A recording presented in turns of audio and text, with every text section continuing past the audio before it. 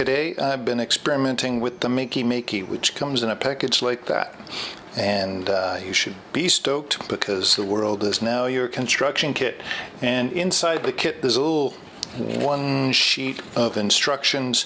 Um, there is a pop-up window that comes up when you install it for the first time and it was a little bit confusing but the instructions told me to just ignore it and so I made it some of these little control pads and on the Makey Makey I had it set up to have controls going to the arrow keys.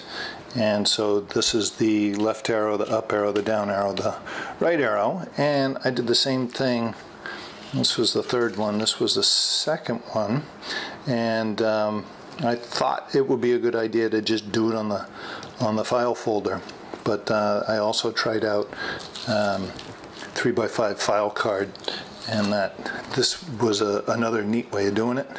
This one, one of the problems that I had with this one was it was a little bit too small, didn't really fit well in my hand, so I actually attached a, a stick to behind it and that, that helped hold it a little bit.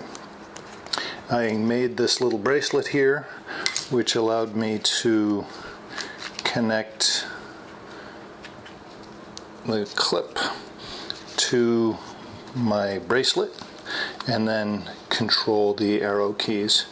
Uh, and so basically, if something conducts electricity, it makes a good um, pad, control pad. And if it doesn't conduct, like this uh, rubber boot here, then it's an insulator. So it gets you working with conductors and insulators, and you can use this to make your own controllers.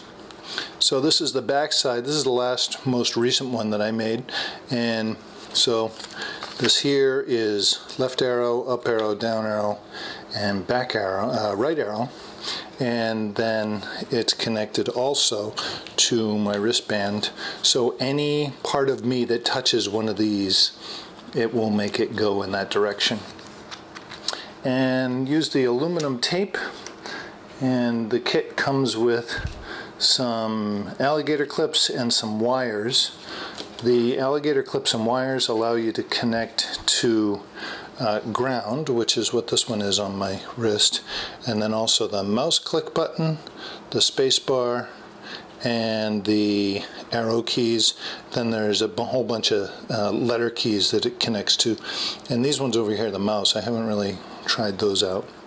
And um, so I believe if I just push that button, it starts the game. And then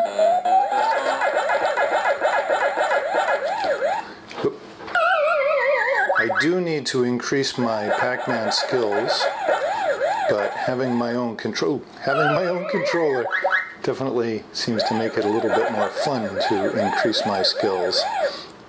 But boy, I need a lot of new skills. So it's kind of fun. It's makey makey. You can build your own computer controllers. For this, all I used for materials was tape, file folder, aluminum foil, some sticks, I made this little wand here too that allowed me to kind of touch things with the wand.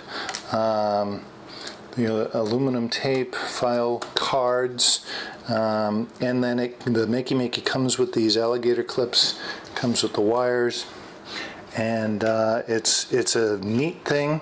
It really opens up the possibilities of what you can do with your computer if you can make your own computer input devices. So it's a lot of fun, and if you get yourself near a Makey Makey, then definitely try it out.